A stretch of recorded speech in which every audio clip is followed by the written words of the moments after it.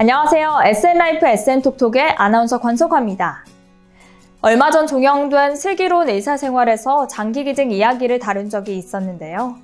그 이후 장기기증에 대한 문의도 증가했다고 합니다. 나와는 다소 먼 이야기로 느껴졌던 장기이식, 신청 방법과 절차가 까다로울 줄 알았는데 매우 간단해서 누구나 하실 수 있다고 하는데요.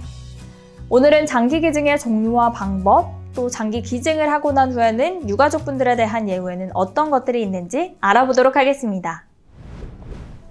장기 기증은 다른 사람의 장기 기능 회복을 위해 대가 없이 자신의 특정한 장기를 제공하는 것을 말합니다. 생명이 위태로운 환자에게 건강한 장기를 대체함으로써 기능을 회복시키는 방법인데요.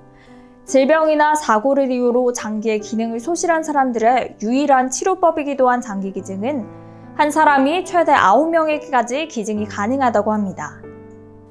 살아있을 때 기증할 수 있는 장기, 뇌사 상태, 또 사후에 기증할 수 있는 장기가 각각 다르다고 합니다. 장기 기증은 크게 세 가지로 나뉘는데요.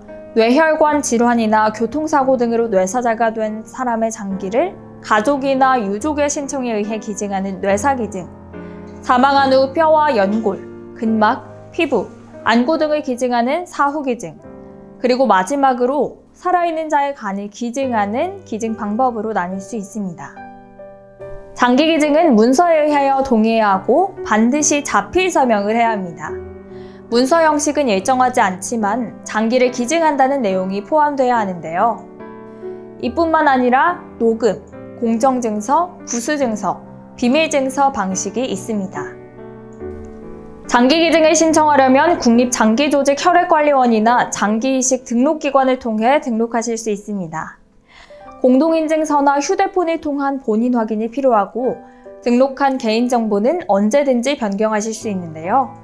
또한 위의 기관에 문의 전화를 하거나 등록 신청서를 요청하면 신청서와 안내지를 받을 수 있습니다. 홈페이지에서 서식을 다운로드한 후에 작성해서 팩스로 보내도 되고 등록기관으로 지정된 곳에 방문해서 신청 접수를 하시면 됩니다.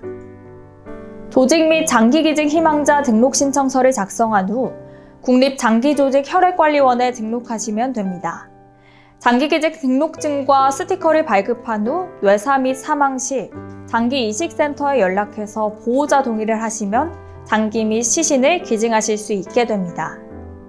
장기기증 등록을 했다가 취소를 원하실 경우에는 장기기증 운동본부 사이트에서 개인정보 화면에 접속해 취소 요청을 누르거나 전화 문의를 하시면 됩니다.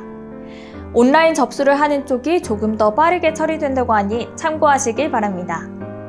취소는 쉽게 가능하지만 신청하실 때는 늘 신중하게 가족분들과 충분히 의논하신 후에 신청하시는 게 좋겠죠? 기증 예정자에게 주어지는 혜택은 사실상 크지 않은데요. 약속의 징표가 될 수 있는 희망 등록증을 제공하며 사후 기증이 이뤄진 경우 유가족분들을 위한 몇 가지 지원 정책 제공, 기증자에 대한 추모 행사 등을 진행합니다.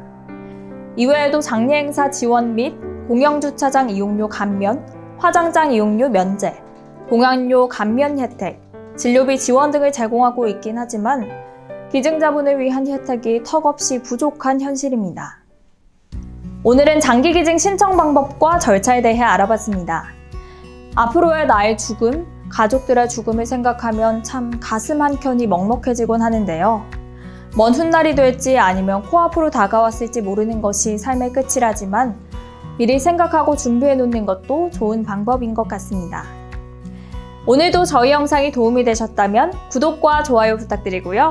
앞으로도 저희 후불제 상조 SN라이프 SN톡톡에서는 장례 문화의 궁금증을 언제든지 시원하게 해결해 드리겠습니다.